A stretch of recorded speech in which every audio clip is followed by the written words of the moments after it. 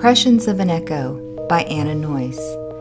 The repetition of an unhealthy pattern is like an echo bouncing off the canyon wall. Each time it strikes, it makes an imprint on the human heart.